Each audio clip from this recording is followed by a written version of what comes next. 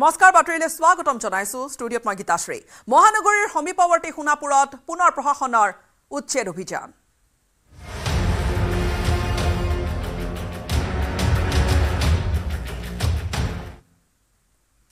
প্ৰশাসনৰ উচ্ছেদ আৰু মহানগৰীৰ সমীপৱৰ্তী সোণাপুৰৰ কচুতলিত প্ৰশাসনৰ পুনৰ উচ্ছেদ অভিযান চলিল। বেদখলকাৰীৰ বিৰুদ্ধে কঠোৰ হৈ পৰিছে কামৰূপ মহানগৰ জিলা প্ৰশাসন। দণ্ডাধীশ আৰু আৰক্ষী নিৰাপত্তাৰক্ষীৰ সহযোগত বৃহৎ এটা দলে এই অভিযান চলাইছে। প্ৰশাসনে বৃহৎ এটা নিৰাপত্তা বাহিনীৰ দলক লগত লৈ এই উচ্ছেদ অভিযানত নামি পৰিছে। পুৱাৰে পৰা আৰক্ষী অৰ্ধসামৰিক বাহিনীৰ সমৰ সজ্জাৰে এফালৰ পৰা ভাঙি গ'ল ঘৰ আৰু বহু দোকান। দীৰ্ঘদিনৰে পৰা জনজাতীয় আবেষ্টনীৰ ভূমিত বেদখল কৰি আছিল একাংশ সন্দেহজনক লোকে। কলং নৈৰ নদী পথ ব্যৱহাৰ কৰি কচুতলি বৰবিলা আদি স্থানৰ চৰকাৰী মাটিত চৰকাৰী ভূমিত বসতি স্থাপন কৰি আহিছিল। উল্লেখযোগ্য যে প্ৰায় এটা পষেক পূৰ্বে ডিমৰীয়াৰ এই স্থানত চলিছিল উচ্ছেদ আৰু ভাঙি দিয়া হৈছিল। আন কেইবাটাও ঘৰ। একাংশ স্থানীয় লোকে জনোৱা অনুসৰি ডিমৰীয়াৰ এটি দালাল চক্ৰই এই চৰকাৰী ভূমিসমূহ বিক্ৰী কৰি ভুৱা ম্যাদী পট্টাৰে বা ভুৱা ম্যাদীৰে বিক্ৰী কৰি প্ৰদান কৰিছিলে চৰকাৰী বিভিন্ন আঁচনি পৰ্যন্ত।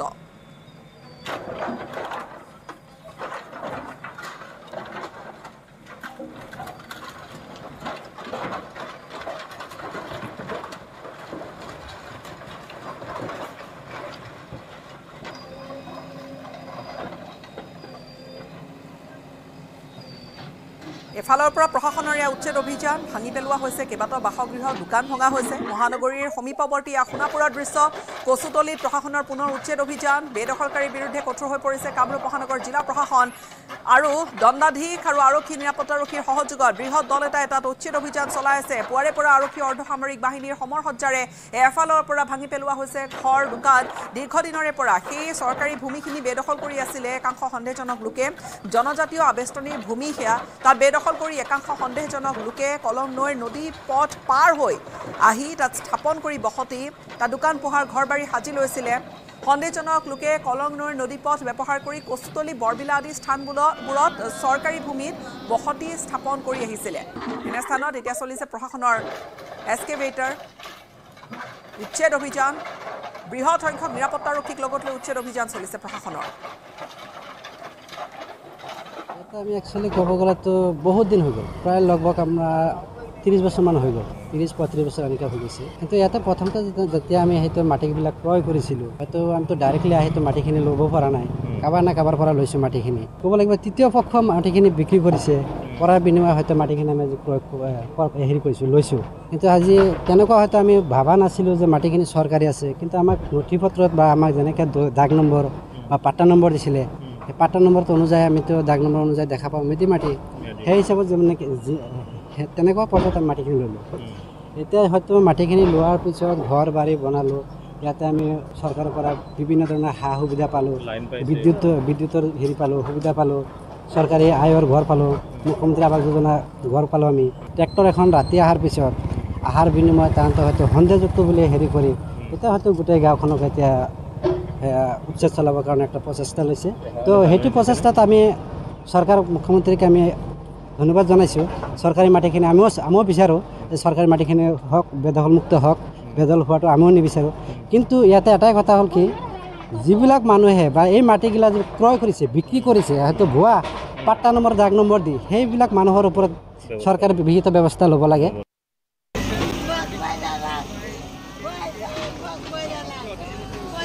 কষ্ট জব কাৰ্ডে কাম কৰিছোঁ মই জব কাৰ্ডে কাম কৰি হ'লে মই মানুহ কিনিছোঁ মই বিৰাট কষ্ট কৰিছোঁ মই জব কাৰ্ডে কাম কৰি মই মাৰি কিনিছোঁ আহ, মোক দে মই মাৰি এলাম।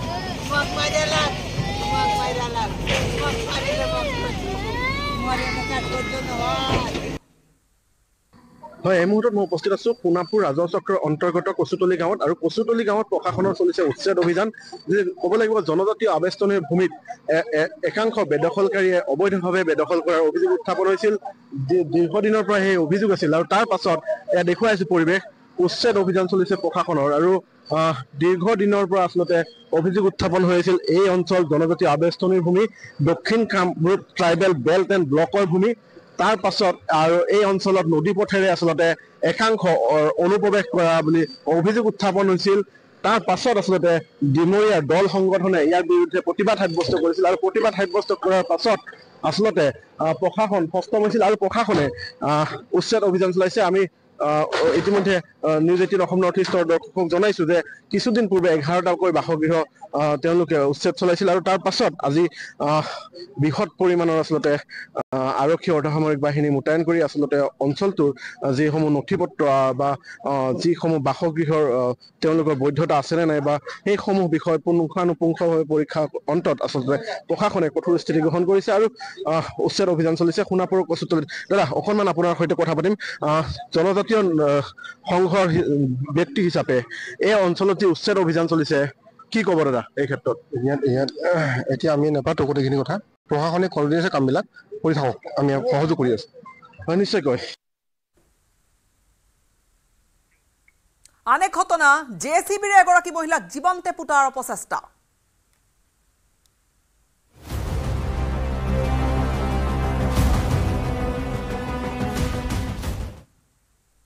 তেজপুৰত এই ঘটনাটো সংঘটিত হৈছে। ভয়ংকৰ ঘটনা এটা য'ত জে চি বিৰে এগৰাকী মহিলাক জীৱন্তে পুতিবলৈ চেষ্টা কৰিলে। পাঁচ মাইল চামধৰাত এই যিটো ঘটনা সংঘটিত হৈছে মাটি বাৰী সংক্ৰান্তীয় এটা সংঘাত লাগিছিলে আৰু সেই সংঘাতৰ পৰিণতিতে তেজপুৰত সংঘটিত হৈছে। তেজপুৰত এই ঘটনাটো লাইলা খাতুন নামৰ এগৰাকী মহিলা সেই মহিলাগৰাকীক জে চি বি লগাই সেই এক্সকেভেটাৰ লগাই মাটি পুতাৰ চেষ্টা কৰিছিলে এটা চক্ৰই। বলপূৰ্বকভাৱে মাটি বেদখল কৰিবলৈ যোৱা এটা চক্ৰই মহিলাগৰাকীক জে চি বি লগাই মাটিত পুতি পেলোৱাৰ অপচেষ্টা কৰিছিলে। জানিব পৰা মতে চাৰিদুৱাৰ ৰাজহ চক্ৰৰ গৰৈমাৰী মৌজাৰ অন্তৰ্গত তিনি বিঘা এক কঠা মাটিক লৈ বিবাদ চলি আছিল। মাটিডোখৰক লৈ তেজপুৰ দেৱানী আদালততো গোচৰ প্ৰক্ৰিয়া অব্যাহত আছে। তাৰ মাজতে একাংশ লোকে এই ধৰণে জে চি বি লৈ তাত উচ্ছেদ কৰিবলৈ চেষ্টা কৰিলে মাটিডোখৰত উচ্ছেদক বাধা দিয়াৰ মুহূৰ্ততে লাইলা খাতুন নামৰ মহিলাগৰাকীক জে চি বিৰে পুতাৰ চেষ্টা কৰাৰ এটা চাঞ্চল্যকৰ ভিডিঅ' এই মুহূৰ্তত পোহৰলৈ আহিছে। মহিলাগৰাকীয়ে এই সম্পৰ্কত থানাত গোচৰ দিছে যদিও আৰক্ষীয়েও কোনো ধৰণৰ ব্যৱস্থা নোলোৱাৰ কিন্তু অভিযোগ উত্থাপন কৰিছে।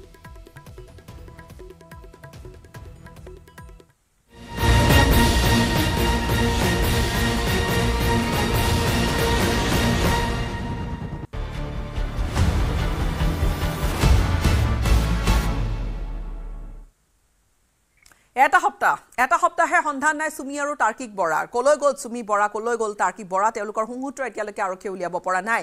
এছ আই টিয়ে ইতিমধ্যে তদন্তৰ দায়িত্ব লৈছে। এছ আই টি গঠনৰ পিছতে দুয়োকে বিচাৰি আৰক্ষীৰ অভিযান চলিছে। এছ আই টিয়ে বিভিন্ন দিশেৰে তদন্ত কৰিব। আৰু যিহেতু মেঘালয়ৰ প্ৰসংগ ইয়াত সাঙুৰ খাই পৰিছে যে মেঘালয়ত ক'ৰবাত লুকাই আছে নেকি মেঘালয়ৰ বহুকেইটা স্থানত অভিযান কৰিছে ইতিমধ্যে চি আই ডিয়ে লগতে মহানগৰ আৰক্ষীয়ে। অভিযানকাৰী দলক সহায় কৰিছে মেঘালয় আৰক্ষীয়ে। চেৰাপুঞ্জীৰ বহুকেইটা স্থানত চলিছিল অভিযান। মেঘালয়ত আত্মগোপন কৰাৰ খবৰ লাভ কৰিছে ইতিমধ্যে আৰক্ষীয়ে যে মেঘালয়তে ক'ৰবাত হয়তো লুকাই থাকিব পাৰে।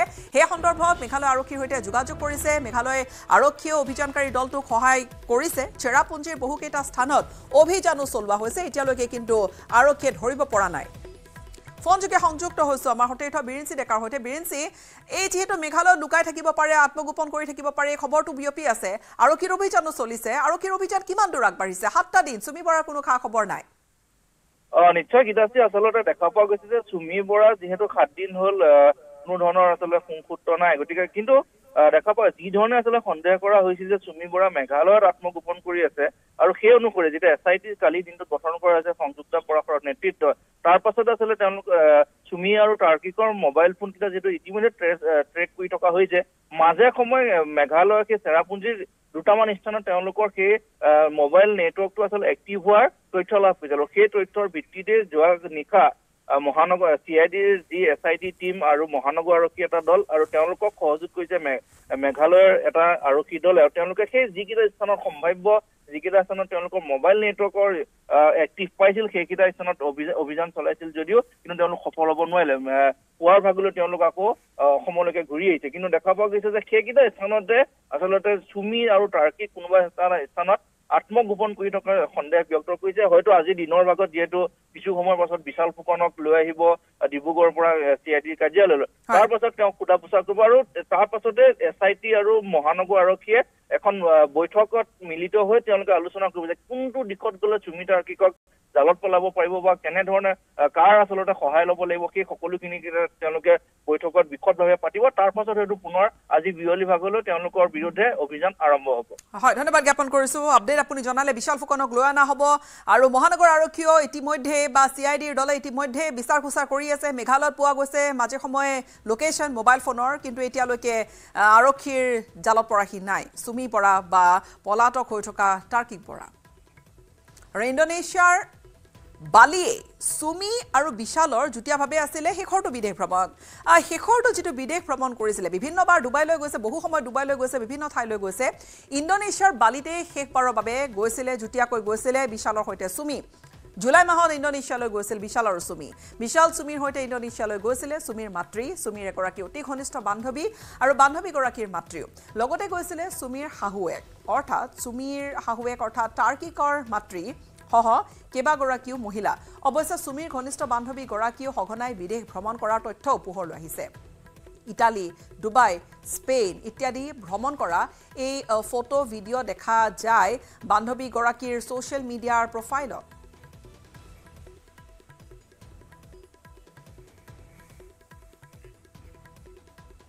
গুৱাহাটীলৈ অনা হ'ব। মহাপ্ৰবঞ্চক বিশাল ফুকনক আনহাতে গুৱাহাটীলৈ অনা হ'ব। আজি আৰু কেইটামান ঘণ্টাৰ ভিতৰতে গুৱাহাটী আহি পাবহি। যিহেতু ডিব্ৰুগড়ৰ পৰা অনা হ'ব। বৰ্তমান ডিব্ৰুগড় কাৰাগাৰতে আছে বিশাল আৰু আদালতত আবেদন জনাই এছ আই টিয়ে বিচাৰিব নিজৰ জিম্মাত। এছ আই টিয়ে সোধা পোছা কৰিব যিহেতু গোটেই তদন্ত প্ৰক্ৰিয়াতে এতিয়া এছ আই কৰিব এছ আই টিয়ে কৰিব। নিজৰ জিম্মাত লোৱাৰ বাবে ইতিমধ্যে যিহেতু আদালতৰ আবেদন কৰিব ইতিমধ্যে ডিব্ৰুগড়ৰ বিশাল ফুকনৰ গোচৰ হস্তান্তৰ চি আই ডিলৈ হৈ গৈছে। অসম আৰক্ষীৰ চি আই ডিৰ এছ আই টিয়ে এই গোটেই ঘটনাটোৰ তদন্ত কৰিব। উল্লেখযোগ্য যে চুমি বৰাক উপহাৰ দিবলৈ ৰেঞ্জ ৰ'ভাৰ বুক কৰিছিলে বিশাল ফুকনে। পুনৰ সেই ৰেঞ্জ ৰ'ভাৰখনৰ যিখন নতুন ৰেঞ্জ ৰ'ভাৰ দুই চাৰি দিনতে হয়তো আহি পালেহেঁতেন ছেপ্টেম্বৰ মাহতে আহি পোৱাৰ কথা ডেলিভাৰী হোৱাৰ কথা বুক কৰি থৈছিলে। সেই ৰেঞ্জ ৰ'ভাৰ বাহনখন বুক কৰিছিলে বিশাল ফুকনে চুমি বৰাক দিবলৈ উপহাৰ হিচাপে। সেইধৰণে কথাখিনি পোহৰলৈ আহিছে। বিশ্বকৰ্মা পূজাত চুমিক উপহাৰ দিয়াৰ কথা আছিলে ৰেঞ্জ ৰ'ভাৰখন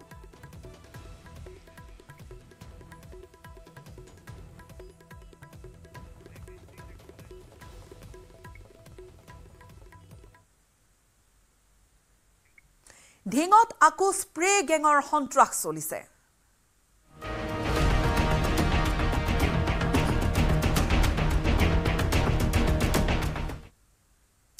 ঢিঙৰ আউনীআটী সত্ৰত স্প্ৰে গেঙৰ আতংক চলিছে। ঢিং আৰক্ষীক বুঢ়া আঙুলি দেখুৱাই ঢিঙত পুনৰ স্প্ৰে গেঙে চলাইছে লুটপাট।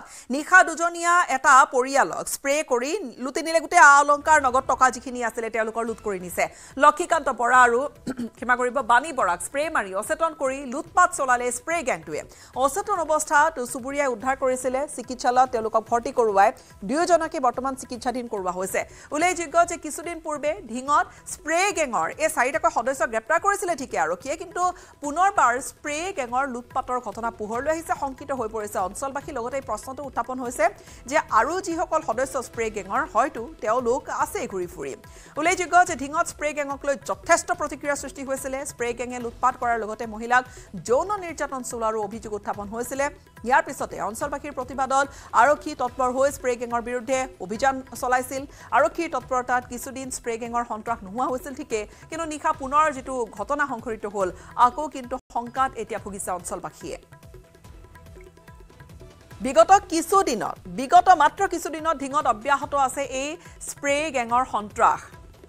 কেইজনমান জালত পৰিছে ঠিকে। অঞ্চলটোৰ কেইবা ঘৰতো স্প্ৰে গেঙে প্ৰৱেশ কৰি মহিলাক যৌন নিৰ্যাতন চলোৱাৰ দৰে ঘটনা ঘটিছে। লুটি নিছে তাৰপিছতে আ অলংকাৰ নগদ ধন লগতে মূল্যৱান সা সামগ্ৰী। স্প্ৰে গেঙৰ সন্ত্ৰাসত আহত হৈছিলে অঞ্চলটোৰ কেইবাগৰাকীও লোক। বিশেষকৈ কম লোক থকা পৰিয়ালক টাৰ্গেট কৰি লৈছিলে এই স্প্ৰে গেঙে নিউজ এইটিনত এই বাতৰি ধাৰাবাহিকভাৱে সম্প্ৰচাৰ কৰাৰ পিছতহে তৎপৰ হৈছিল আৰক্ষী। স্প্ৰে গেঙৰ সন্ত্ৰাসৰ পৰা ৰক্ষা কৰিবলৈ কেইবাদিনো ধৰি প্ৰতিবাদো সাব্যস্ত কৰিছিলে। ছাত্ৰ সন্থা ব্যৱসায়ী সন্থাকে ধৰি আতংকিত লোকে কৰিছিল প্ৰতিবাদ।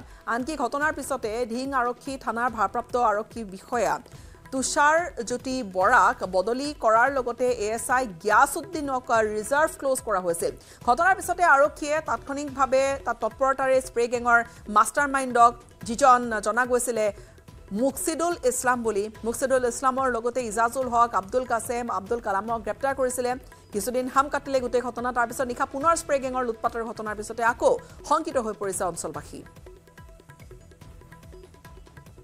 অঁ, যোৱাকালি ৰাতি আমাৰ খুৰাৰ ঘৰত স্প্ৰে মাৰি পেলাই দুজনে আছ- আছিলে ব্যক্তি খুৰা। আৰু খুৰী স্প্ৰে মাৰি ঘৰৰ পৰা চুৰ বস্তু বাহানি চুৰ কৰি লৈ গৈছে। দুইজন অচেতন অৱস্থাত আমি ৰাতিপুৱা দৰ্জা খোলা পিছফালৰ দৰ্জাখন খোলা অৱস্থাত তেখেতক পাইছোঁ। এ, দুইজনকে এতিয়া আমি আনি হস্পিটেলত ভৰ্তি কৰিছোঁ ডিং হস্পিটেলত নাই সেইটোৱে আমাৰ এতিয়া গম পাইছে গোটেই ঢিং অঞ্চলকে আজি ডেৰ দুই বছৰ হ'ল এই স্প্ৰে চোৰৰ সন্ত্ৰাস। উম, বিভিন্ন ধৰণৰ সন্ত্ৰাসৰ মাজত আমি হেৰি কৰি আছোঁ। গতিকে এই ক্ষেত্ৰত প্ৰশাসনে যিখিনি পদক্ষেপ ল'ব লাগে এতিয়ালৈকে কোনো মানে তেনেকুৱা লোৱা নাই। দুই এদিন লোৱা দেখোঁ তাৰপিছত আকৌ ঢিলাই দিয়ে বস্তুটো। ফোনযোগে সংযুক্ত হৈছো। আমাৰ সাংবাদিক ৰূপহী হাতৰ মুজামিল হকৰ সৈতে মুজামিল এই গোটেই স্প্ৰে গেঙৰ আকৌ যিটো তৎপৰতা আৰম্ভ হৈছে অৰ্থাৎ স্প্ৰে গেঙৰ সদস্য এতিয়াও ঘূৰি ফুৰিছে ঢিঙত হয় গীতাশ্ৰী আৰক্ষীৰ সম্পূৰ্ণ নিষ্ক্ৰিয়তাৰ সুযোগ গ্ৰহণ কৰি স্প্ৰে গেঙে আকৌ আৰম্ভ কৰিছে তেওঁলোকৰ কাৰ্য আৰু বিশেষকে যোৱা নিশা লক্ষীকান্ত বৰা আৰু বীণা বৰাক স্প্ৰে কৰি অচেতন কৰি লুটপাট কৰি লৈ যায়। তেওঁলোকৰ ঘৰৰ আ অলংকাৰকে ধৰি বিভিন্ন সামগ্ৰী লুটপাট কৰি লৈ যায়। আৰু তেওঁলোকক যেতিয়ালৈকে চিকিৎসালয়লৈ নিয়া পৰ্যন্ত কিন্তু ঘটনাস্থলীত আৰক্ষী উপস্থিত হোৱা নাছিলে আৰু এই লৈ পেলাই ঢিঙত পুনৰ প্ৰতিক্ৰিয়া সৃষ্টি হৈছে। আৰু পূৰ্বতেও এই সংক্ৰান্তত নিউজ এইটিনৰ সময়ত ধাৰাবাহিকভাৱে বাতৰি সম্প্ৰচাৰ হৈছিলে যে স্প্ৰে গেঙে কেনেকে মানুহক তাৰ ৰাইজক অচেতন কৰি পেলাই আনকি ধৰ্ষণ সংঘটিত কৰিছিলে আৰু তাৰ পিছত প্ৰতিক্ৰিয়া সৃষ্টি হৈছে আৰু এই সম্পৰ্কত নিউজ এইটিনৰ সময়ত ধাৰাবাহিক বাতৰি সম্প্ৰচাৰ কৰিছিলে আৰু তাৰ পিছত আৰক্ষী তৎপৰতা দেখুৱাই পেলাই চাৰিজন লোকক আটক কৰিছিলে যদি কিছুদিন হাম কটাৰ পিছত পুনৰ পুনৰ আকৌ আৰম্ভ হৈছে স্প্ৰে গেঙৰ তৎপৰতা। নিশ্চয়কৈ যি যি আমি বিদায় লৈছোঁ ধন্যবাদ জ্ঞাপন কৰিছোঁ। যি সময়ত আচলতে ঢিং কাণ্ডৰ প্ৰতিক্ৰিয়া মাৰ যোৱাই নাই সেই তেনেকুৱা সময়তে ঢিঙত আকৌ স্প্ৰে গেঙৰ এই সন্ত্ৰাস ইয়াৰ পূৰ্বেও স্প্ৰে গেঙৰ সন্ত্ৰাস চলিছে আকৌ এই স্প্ৰে গেঙৰ সন্ত্ৰাস হোৱাৰ পিছতে কিন্তু স্বাভাৱিকতে স্থানীয় লোকে কিন্তু এই নিৰাপত্তাৰ বিষয়টো খুব সহজৰে উত্থাপন কৰিছে।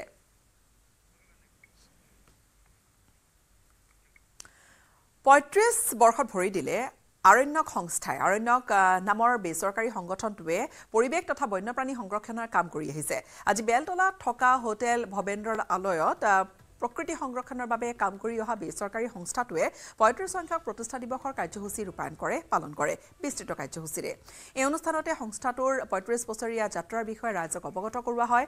অনুষ্ঠানত বহুকেইগৰাকী বন্যপ্ৰাণী সংস্থাৰ লোক উপস্থিত থাকে।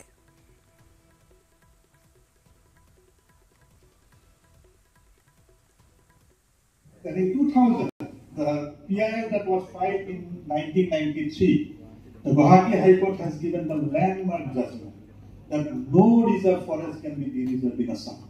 Rather, efforts should be given, you know, in order to protect. Since that, you know, no foreign reserve forest, you know, could be de-reserved because of the, you know, directives from the Guwahati High Court.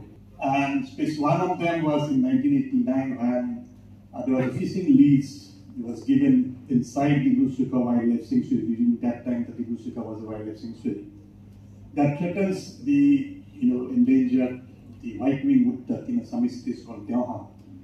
So that was our first PIL. I had no idea during that time how PIL works. But because of, you know, people encourage us, we approached the High Court. There are people in the High Court, you know, the senior lawyers that you know, helped us in order to steer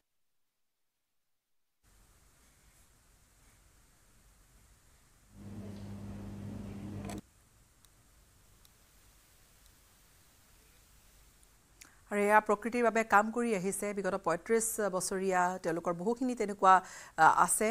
কাম কাজ এইবাৰ পঁয়ত্ৰিছ বৰ্ষত যিহেতু ভৰি দিলে আৰণ্যক সংগঠনটোৱে আৰণ্যক নামৰ এই বেচৰকাৰী সংগঠনটোৱে পৰিৱেশ তথা বন্যপ্ৰাণী সংৰক্ষণৰ সুৰক্ষাৰ বাবে অহৰহ তেওঁলোকে ব্ৰতী হৈ আহিছে কাম কৰি আহিছে। আজি বেলতলাত থকা হোটেল ভৱেন্দ্ৰ আলয়ত প্ৰকৃতি সংৰক্ষণৰ বাবে কাম কৰি অহা এই সংগঠনটোৰ আৰণ্যকৰ পঁয়ত্ৰিছ সংখ্যক প্ৰতিষ্ঠা দিৱস কাৰ্যসূচী পালন কৰা হৈছে ইয়াৰ পোনপটীয়া সম্প্ৰচাৰ আমি বেলতলাৰ পৰাকৈ পৰা আপোনালোকক দেখুৱাইছোঁ uh,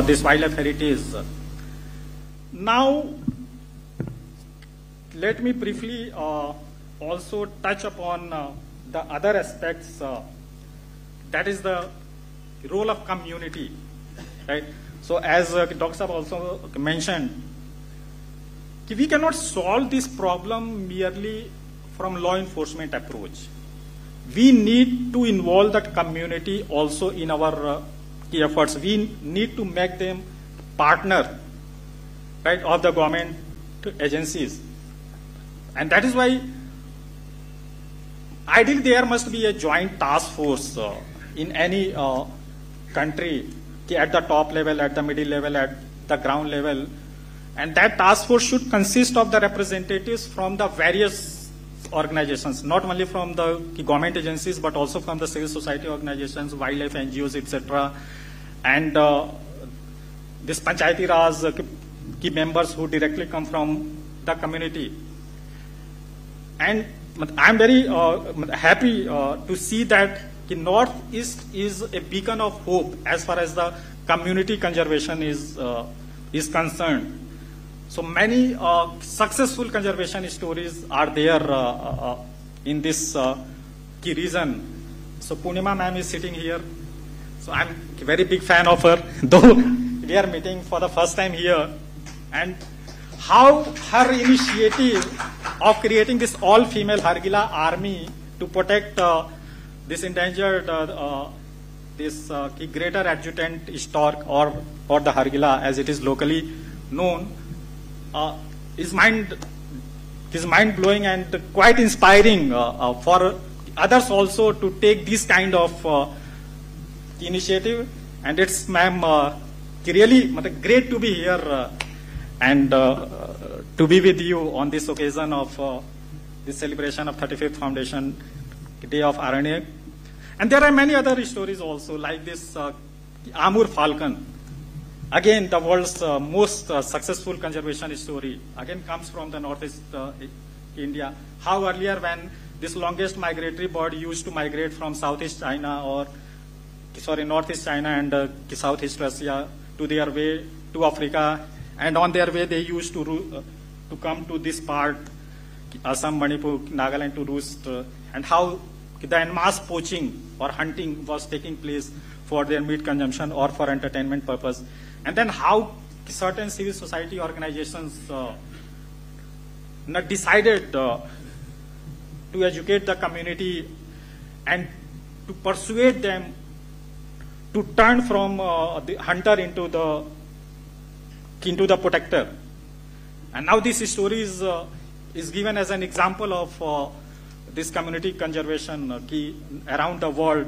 And many this uh, Amur Falcon festivals are also being organized, uh, like this Naming Pong or uh, yeah, forgive me if I pronounce any any word uh, incorrectly. I think Tameng Long uh, in uh, in Manipur uh, that Amur Falcon festival is a ৰেপাৰ্ট্ৰীৰ সংখ্যা প্ৰতিষ্ঠা দিৱসৰ কাৰ্যসূচী বিভিন্ন অনুষ্ঠানৰ আয়োজন কৰা হৈছে কেইবাগৰাকী বিশিষ্ট লোকৰ অংশগ্ৰহণ পৰিৱেশ বন্যপ্ৰাণী সংৰক্ষণৰ ওপৰত বিশেষ আলোচনা গুৱাহাটীত গ্ৰেণ্ড ভৱেন্দ্ৰ আলয়ত অনুষ্ঠিত হৈছে এই আৰণ্যকৰ প্ৰতিষ্ঠা দিৱসৰ কাৰ্যসূচী। কাৰ্যসূচীৰ আদৰণি ভাষণ আগবঢ়ালে ৰঞ্জন ভূঞাই। দিৱসৰ কাৰ্যসূচীত অৰণ্যকৰ বিষয়ে জনাই সচিব প্ৰধান বিভৱ কুমাৰ তালুকদাৰে অৰণ্যকৰ জীৱন যাত্ৰাৰ ওপৰত আধাৰিত এখন চুটি ছবি উন্মোচন কৰা হয়। অনুষ্ঠানৰ অতিথি হিচাপে উপস্থিত আছিল বন্যপ্ৰাণী অপৰাধ নিয়ন্ত্ৰণ ব্যুৰৰ উপ সঞ্চালক অৰবিন্দ কুমাৰ চৰাচিয়া। অৰণ্যকৰ জীৱনজোৰা সাধনা বঁটা দুহেজাৰ চৌব্বিছ লাভ কৰে। প্ৰখ্যাত পৰিৱেশবিদ ডক্টৰ আনোৱাৰুদ্দিন চৌধুৰীয়ে।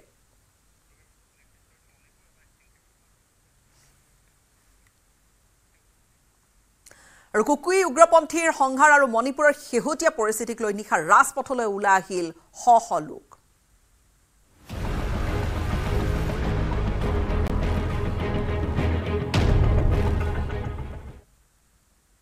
মণিপুৰ শান্ত হ'ব কেতিয়া? মণিপুৰত যিবোৰ শেহতীয়াকৈ বিক্ষিপ্ত ঘটনা বাঢ়িছে অন্ত কেতিয়া পৰিব কেতিয়া নিৰাপত্তা আহিব? মণিপুৰৰ বাসিন্দাৰ কুকি উগ্ৰপন্থীৰ সংহাৰ আৰু মণিপুৰৰ শেহতীয়া পৰিস্থিতিক লৈ নিশা ৰাজপথলৈ ওলাই আহিলে শ শ মহিলা। শ শ মহিলা তেওঁলোকে হাতে হাতে সেই জোৰ লৈ ওলাই আহিছে ৰাজপথলৈ। মণিপুৰৰ ৰাজধানী চহৰ ইম্ফলৰ কেইচামপাতত দেওবাৰে নিশা শ শ মহিলা হাতত জোৰ লৈ সাব্যস্ত কৰে প্ৰতিবাদ।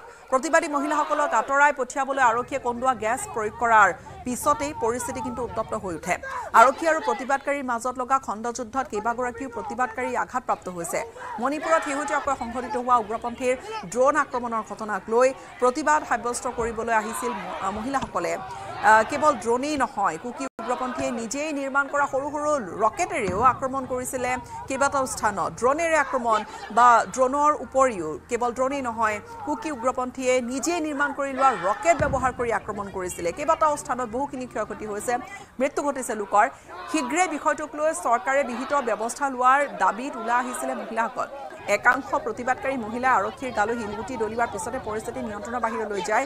আৰক্ষী আৰু চি আৰ পি এফে কন্দুৱা গেছ প্ৰয়োগ কৰি প্ৰতিবাদী মহিলাসকলক খেদি পঠিয়াবলৈ চেষ্টা কৰে। গভীৰ নিশালৈকে ইম্ফলৰ প্ৰতিবাদকাৰী আৰু আৰক্ষীৰ মাজত সংঘৰ্ষ অব্যাহত থাকে। ঠায়ে ঠায়ে প্ৰতিবাদকাৰীয়ে টায়াৰ জ্বলাই প্ৰতিবাদ সাব্যস্ত কৰা দেখিবলৈ পোৱা গ'ল। অশান্ত মণিপুৰৰ পৰিস্থিতি নিয়ন্ত্ৰণৰ বাবে কেইবাটাও নিৰাপত্তা বাহিনীৰ লগতে ৰেপিড একশ্যন ফ'ৰ্চ অনা হৈছে। আৰু আনহাতে জিৰিবামকে ধৰি মণিপুৰৰ কেইবা ঠাইতো কুকি উগ্ৰপন্থীৰ ধাৰাবাহিক আক্ৰমণ চলি থকাৰ উত্তেজনাই এতিয়া বিৰাজ কৰি আছে।